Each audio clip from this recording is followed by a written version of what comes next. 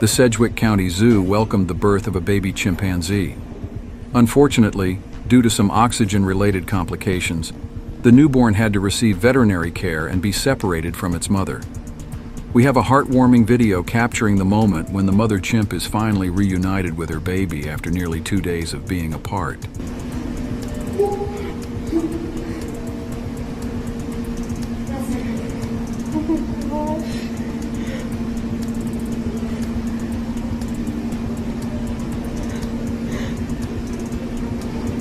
Good job, Mahale. What a good girl.